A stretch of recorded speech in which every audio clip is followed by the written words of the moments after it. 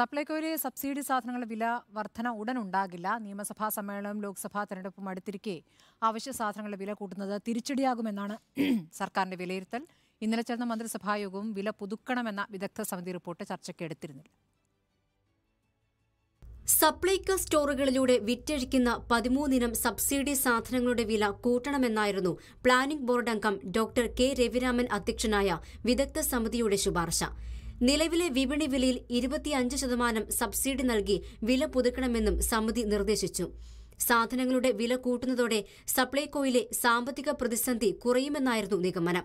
എന്നാൽ നിത്യോപയോഗ സാധനങ്ങളുടെ വില കൂട്ടുന്നത് രാഷ്ട്രീയമായി തിരിച്ചടിയാകുമെന്നാണ് സർക്കാരിന്റെ വിലയിരുത്തൽ.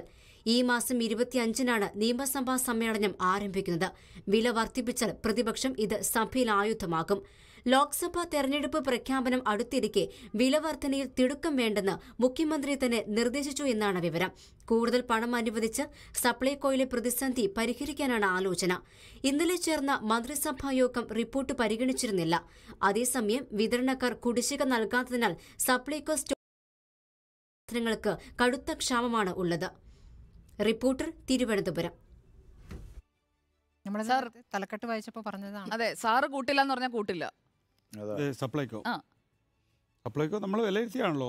ലോക്സഭാ തെരഞ്ഞെടുപ്പിന് മുമ്പ് കൂട്ടില്ല എല്ലാം അതിൽ റെഡിയാണ്. അതിൽ അതിൽ വാർത്ത നേരത്തെ മുതൽ ഫോളോ ചെയ്യുന്നതാണല്ലോ. ലോക്സഭാ തെരഞ്ഞെടുപ്പിന് മുമ്പ് സപ്ലൈകോയിൽ ഒരു ഇരുപത്തിയഞ്ച് ശതമാനം വില വർധനവ് നമ്മൾ പ്രതീക്ഷിച്ചതാണോ?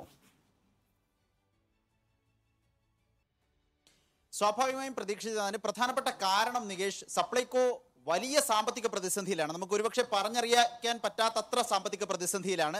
കെ എസ് ആർ ടി സിക്ക് സമാനമായ ഒരു ദുരിത ജീവിതത്തിലേക്ക് ജീവനക്കാരുടെ ജീവിതം കൂടി മാറുന്ന ഒരു സ്ഥിതിയുണ്ട്. ശമ്പളം സാധാരണഗതിയിൽ നേരത്തെ കിട്ടേണ്ട ശമ്പളം അഞ്ചും ആറും ദിവസം പിന്തി കിട്ടുന്ന ഒരു സ്ഥിതി. ഇതിനൊക്കെ പരിഹാരം ഉണ്ടാവുക ശാശ്വതമല്ലെങ്കിലും താൽക്കാലികമായെങ്കിലും ഒരു പരിഹാരം ഈ സബ്സിഡി സാധനങ്ങളുടെ വില കൂട്ടിയാൽ ഒരു പരിധിവരെ പരിഹരിക്കാമെന്നൊരു ആലോചന ഉണ്ടായിരുന്നു അതിന്റെ ഭാഗമായാണ് സപ്ലൈകോ സി എം ഡി സർക്കാരിന് ഇത് സംബന്ധിച്ച് കത്ത് നൽകുന്നത്. കത്ത് എൽ ഡി എഫിൽ വെച്ചു. എൽ ഡി എഫ് ഇതിന് അംഗീകാരം നൽകി. അതിനുശേഷം മൂന്നംഗ സമിതിയെ പ്ലാനിംഗ് ബോർഡ് അംഗം ഡോക്ടർ രവിരാമന്റെ നേതൃത്വത്തിലുള്ള മൂന്നംഗ സമിതിയെ ഇതിനുവേണ്ടി നിശ്ചയിച്ചു.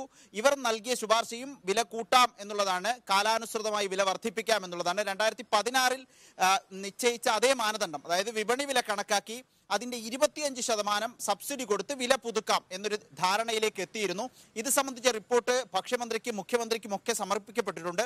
കഴിഞ്ഞ ദിവസങ്ങളിലെ മന്ത്രിസഭാ യോഗങ്ങളിൽ കഴിഞ്ഞ ദിവസം ചേർന്ന മന്ത്രിസഭാ യോഗത്തിൽ ഇത് വരും എന്നാണ് പ്രതീക്ഷിച്ചിരുന്നത്. ചർച്ചയ്ക്കെടുക്കും എന്നാണ് കരുതിയിരുന്നത്. പക്ഷേ അതുണ്ടായില്ല. അതിനുശേഷം നടത്തിയ അന്വേഷണത്തിലാണ് ഇപ്പോൾ ധൃതിപ്പെട്ട് ഈ വിലവർധന വേണ്ട എന്നൊരു തീരുമാനത്തിലേക്ക് സർക്കാർ പോകുന്നു എന്ന വിവരം ലഭിക്കുന്നത്. അതിന് പ്രധാനപ്പെട്ട കാരണമായി പറയുന്നത് നിയമസഭാ സമ്മേളനം വരുന്നുണ്ട്. ഒപ്പം ലോക്സഭാ തെരഞ്ഞെടുപ്പ് ഉടനടി പ്രഖ്യാപിച്ചേക്കാം എന്നൊരു സ്ഥിതി നിലവിലുണ്ട്.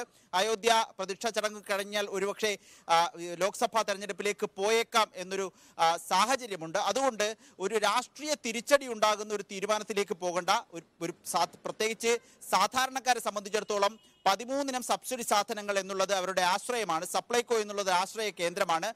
വലിയ വിലയുള്ള ഇരുന്നൂറ് രൂപയൊക്കെ മുളകിനൊക്കെ വില കയറുമ്പോൾ പോലും ചെറിയ വിലയ്ക്ക് സപ്ലൈകോ സ്റ്റോറുകളിൽ നിന്ന് വാങ്ങിയെടുക്കാം എന്നുള്ളതായിരുന്നു. വിപണി ഇടപെടലിന് വലിയ തോതിൽ സഹായിച്ചിരുന്ന സപ്ലൈകോ സ്റ്റോറുകളിൽ ആ ഫലം പോകുന്നു എന്ന് വരുന്നാൽ അത് രാഷ്ട്രീയമായി തിരിച്ചടിക്കും എന്നുള്ളതാണ് വിലയിരുത്തൽ. അതുകൊണ്ട് ധൃതിപ്പെട്ട ഒരു തീരുമാനം വേണ്ട എന്ന രൂപത്തിലേക്ക് കാര്യങ്ങൾ പോകുന്നു എന്നാണ് മനസ്സിലാക്കാനാകുന്നത്. ഏതായാലും. രാഷ്ട്രീയ തിരിച്ചടി മാത്രമാണ് ഇക്കാര്യത്തിൽ പരിഗണന തിടുക്കം വേണ്ട എന്ന് തീരുമാനിച്ചിരിക്കുകയാണ് സർക്കാർ.